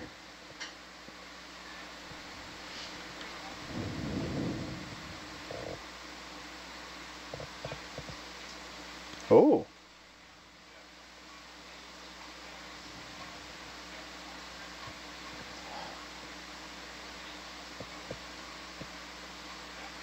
Kristen, are you able to ID that at all?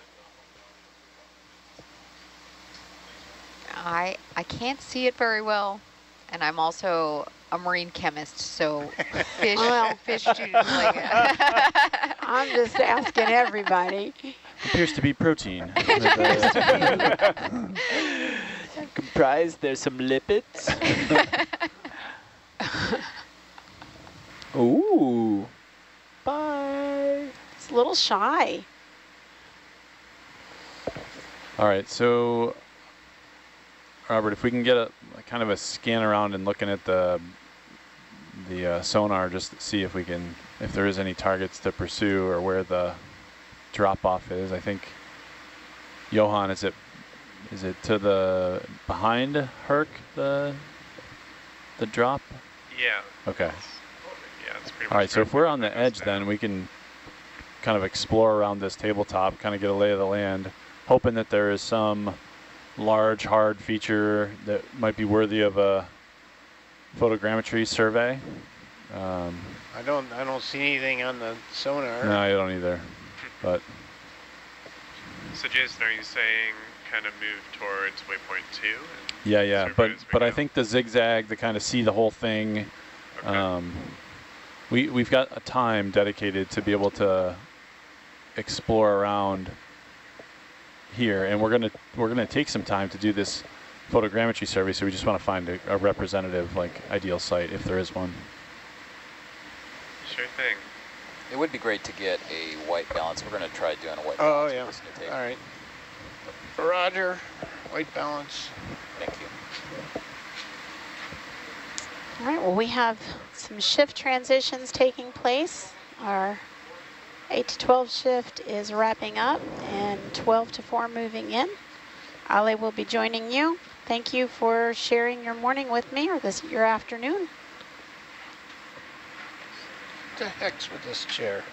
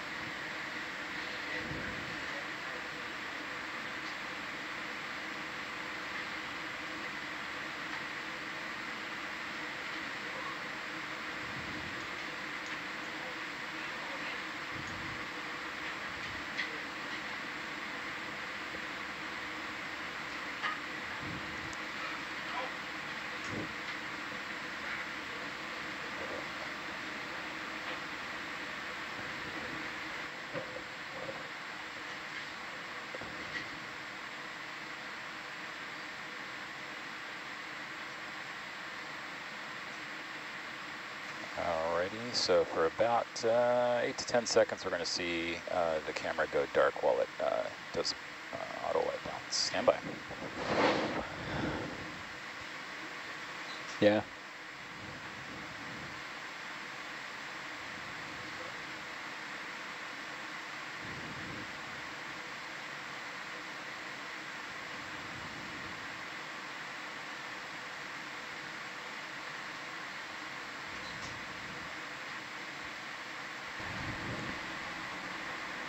Johan, would you mind uh, zooming out, please, on the HiPAP survey?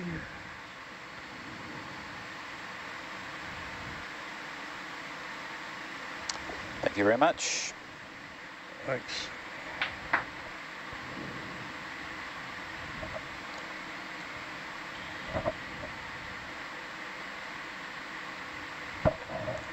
Thanks. That's great.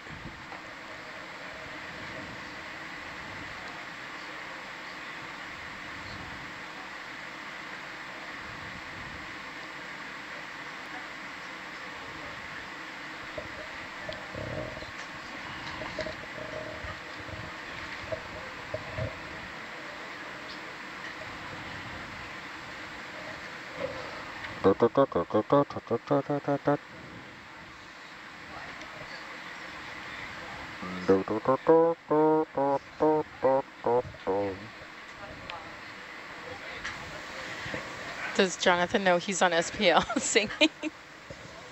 Was that Jonathan singing? Providing, uh, just providing us a good soundtrack Yes, for, that's That's during transition for, of the. for transition of the watch. Good job, Jonathan. Beautiful, beautiful. What's that?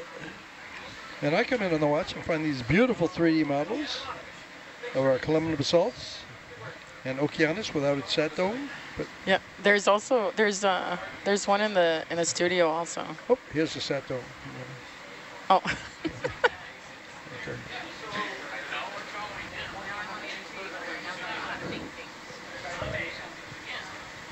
That's the moosefish. stop it! Oh, look. What? That's your It- moosefish. It's a goosefish or As if monkfish. goosefish Wait, is can you any- send that to me, please? As if goosefish is any better. Who is that in the chat? Is that in the WhatsApp? Dinner calls. Very cool. Very, very nice.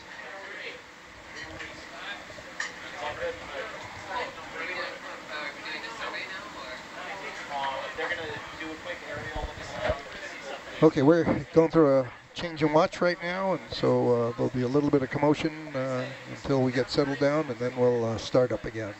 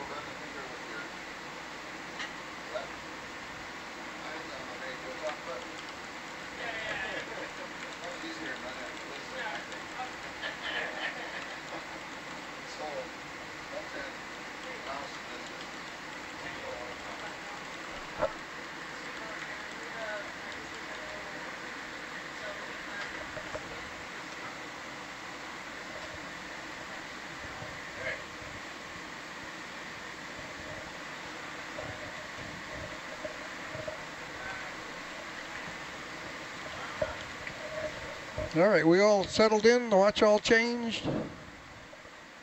Everybody here? Looks like it. All Yeah, I think so. We know what we're doing. All right, let us know when you're ready, Dan. And we're going to just go forth with all due haste again until we see something interesting.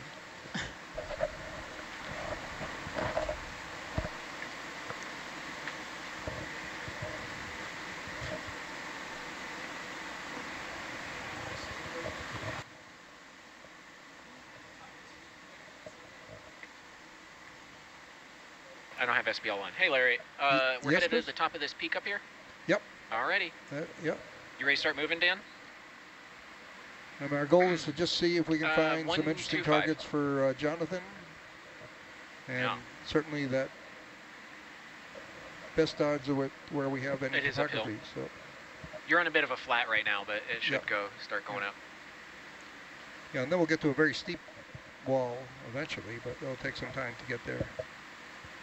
So it'll be interesting to see this contrast between what we've been looking at before. It's interesting. You get you get an idea just how much sediment can accumulate here if you have a nice flat flat area. For those of you joining us, we are at uh, just a little over 1,800 meters in depth. And this is the 12 to 4 watch.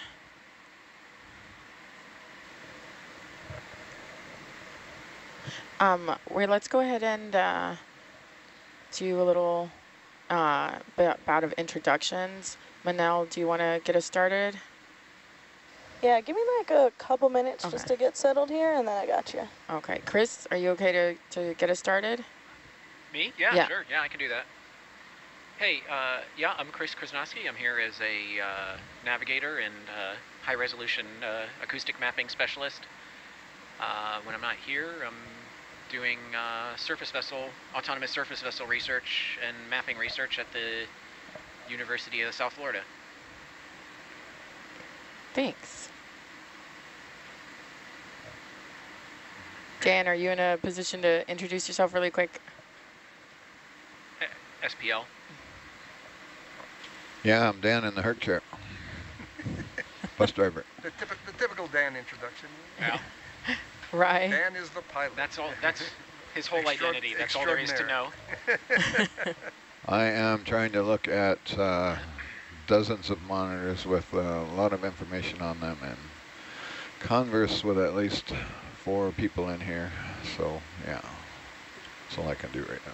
That's why he's got four eyes and six ears. Uh, uh, hold on, let me figure out what's what's happening here. What's happening? Why are you going up? No, I'm going down. The other thing I have to do besides uh, process a lot of information every several seconds is uh, figure out how to fly the ROV.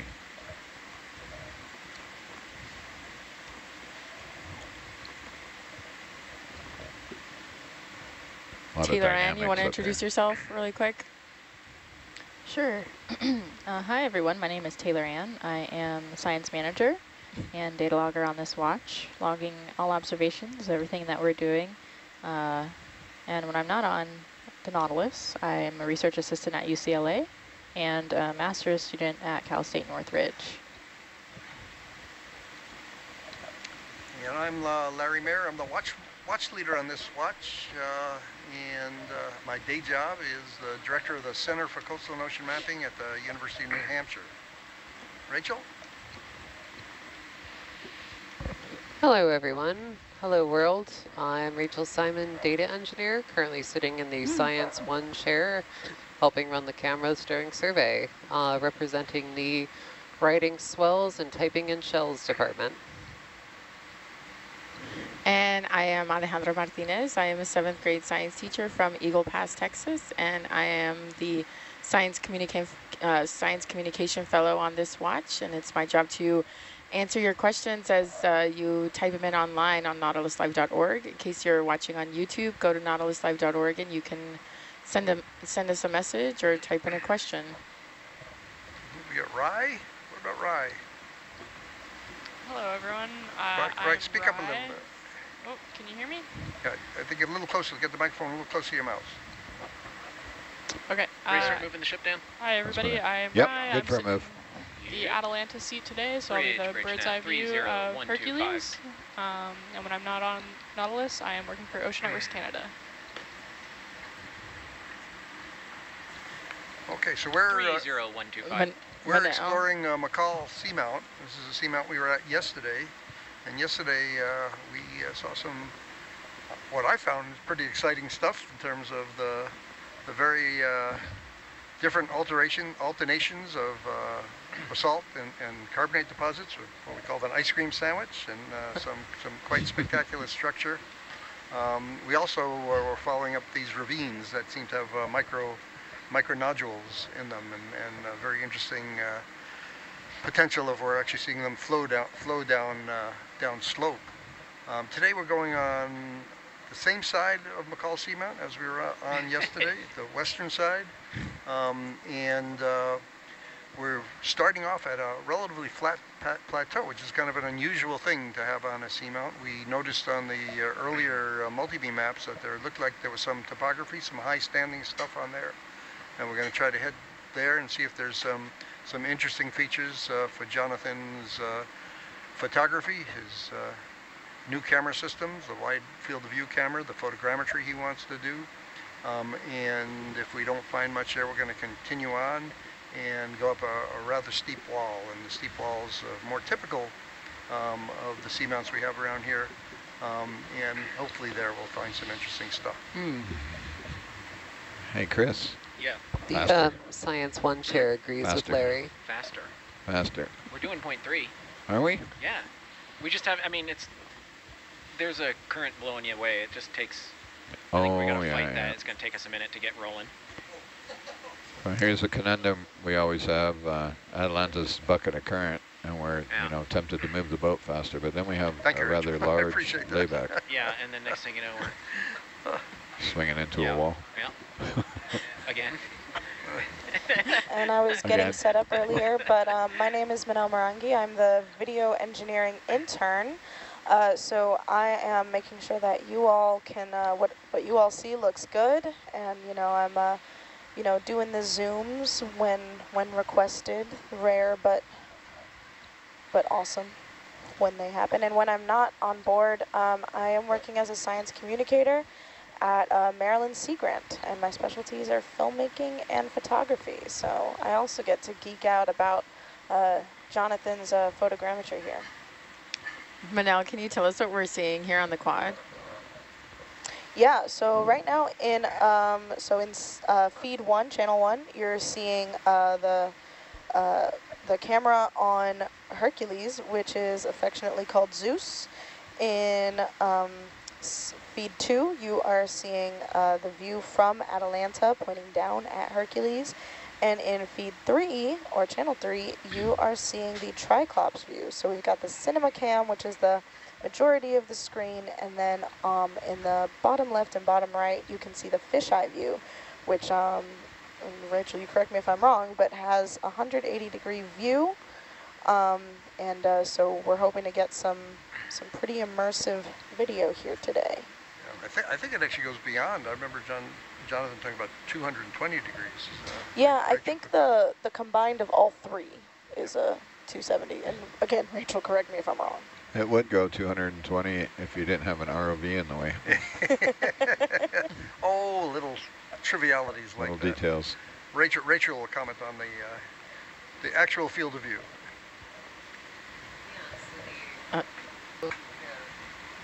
Yeah, so the um, so each individual fisheye lens is 180, um, but the idea is that we want to make sure that we have some overlap between the two.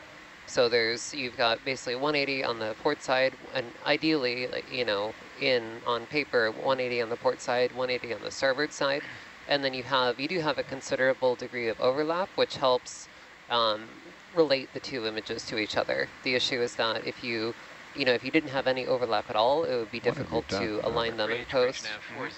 Um, so you get 180 plus 180, and then minus the overlap works out to about 220.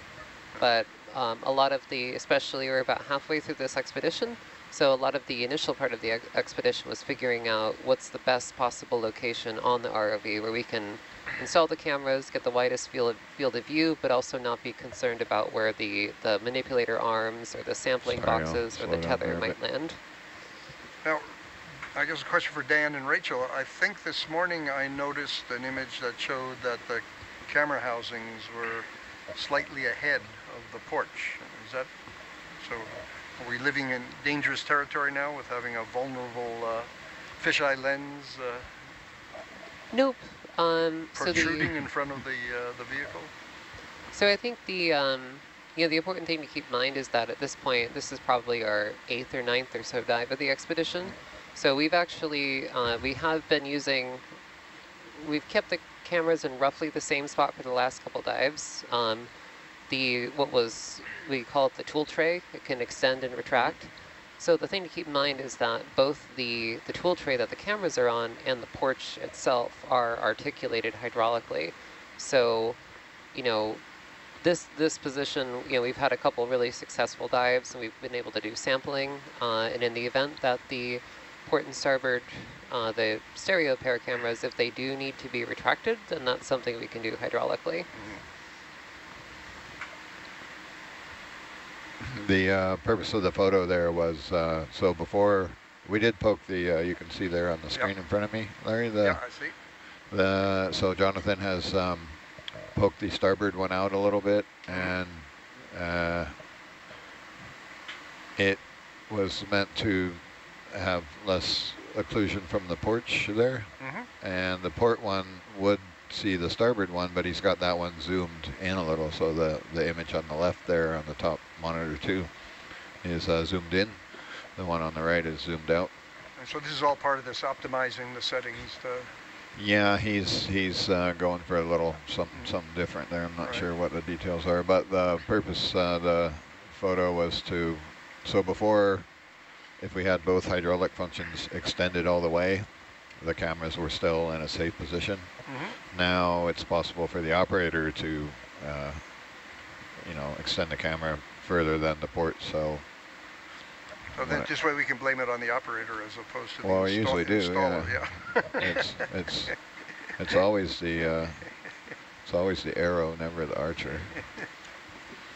And and Rachel, it, it, the overlap that you get between the two wide-angle cameras is that used the parallax there used to do the photogrammetry, or is yeah. it more a structure for motion type approach?